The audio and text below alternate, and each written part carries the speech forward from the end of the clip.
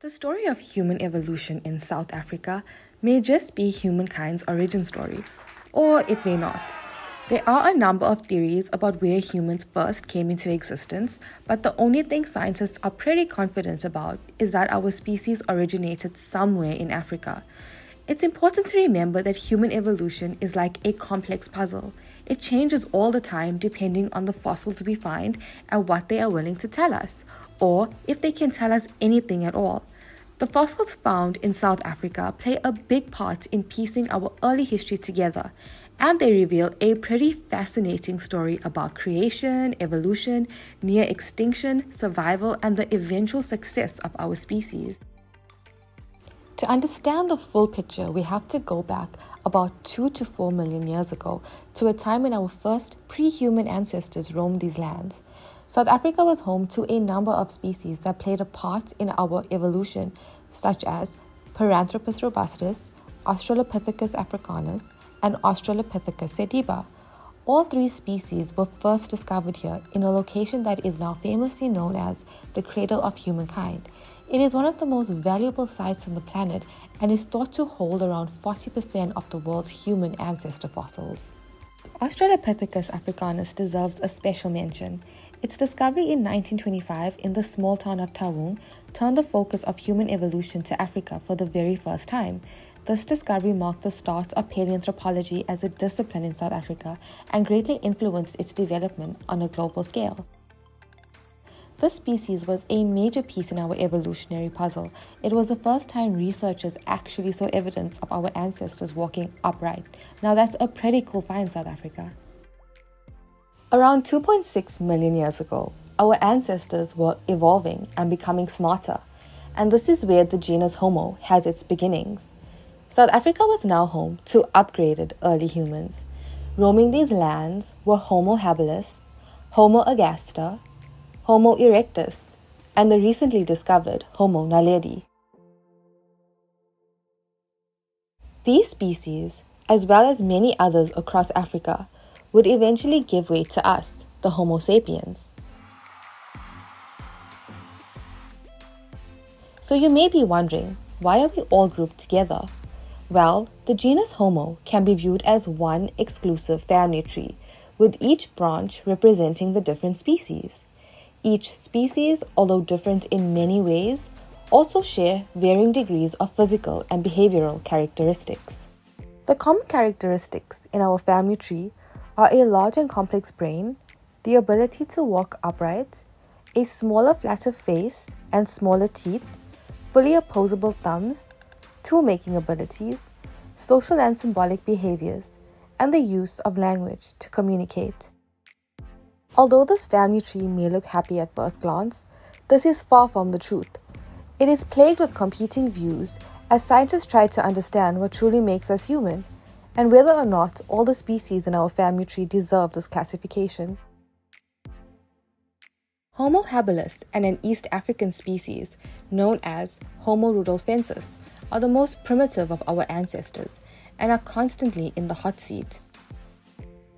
Some believe they should be kicked out of the group and instead placed in the Australopithecus genus. Even Homo ergaster is not safe.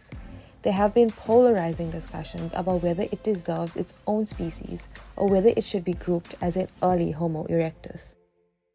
Yes, in this family tree we have our issues, but which family doesn't? I guess we have to embrace our broken branches and incomplete history until we find more fossils to fill in these empty gaps. It's time for another special mention, and this time it goes to Homo erectus. This fascinating ancestor of ours was the first to closely resemble us, the Homo sapiens. It had human like body proportions, it was the first known ancestor to migrate out of Africa, and there is a good possibility it was the first to cook food. But there's more. Ever wondered which species lived on the planet the longest? You guessed it, it's Homo erectus. Fossil evidence suggests it was the longest surviving of all our human relatives. It existed for more than 1.5 million years. Currently, that's more than triple the time that Homo sapiens have been around. And it's even more impressive that they achieved this in a constantly changing environment and climate.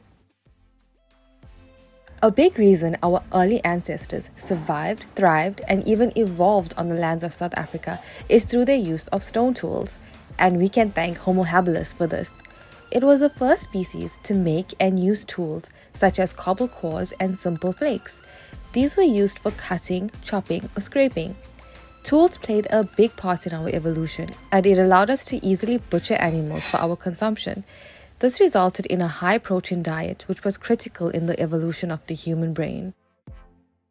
At this point, it is believed that early humans were scavengers. They would wait for animals to die of natural causes before eating them. Around 1.4 million years ago, humans were evolving, and so too were their tools. Around this time, Homo erectus came into existence, and their tools were much more sophisticated and consisted of hand axes, hammers, and choppers. Around 250,000 years ago, our ancestors took a giant evolutionary leap. They were able to make fire, understood the concept of a home base with their chosen real estate in caves, and improved their weaponry to hunt large grazing animals. In other words, our ancestors were no longer scavengers, they were accomplished hunters, and this is where we see the rise of the very first archaic hunter. Anatomically speaking, we began to see the first humans or Homo sapiens around 100 to 200,000 years ago. Whether or not Homo sapiens originated in South Africa is still up for debate. The research around this is inconclusive. Some experts believe that Homo sapiens originated from all over the African continent, while others believe that modern humans began in one single East or Southern African population. Scientists have found evidence that the coastal areas of South Africa played a vital role in the survival of Homo sapiens. So, even though this region may not have been the birthplace of our species, there's a good chance it saved us from near extinction. Our survival was threatened due to harsh environmental conditions brought on by a long glacial stage known as marine isotope stage 6. This made much of the land uninhabitable, and conditions were cold and dry, resulting in a disastrous population decline. Geneticists believe that the surviving population was tiny in number. It could have been as few as several hundred individuals. This means that it's likely that everyone alive today descended from people within a single region, and quite possibly a single group from one ethno linguistic background. And given the narrow genetic diversity of modern humans, it is a very plausible theory. Pinnacle Point, which is a coastal area located in the province of the Western Cape, played a big role in our survival all those years ago. The area forms part of the Indian Ocean and has a number of caves that were once used by our ancestors as much needed shelter in harsh weather conditions. Being so close to marine life, also provided them with nutritious and abundant food like shellfish and plant life.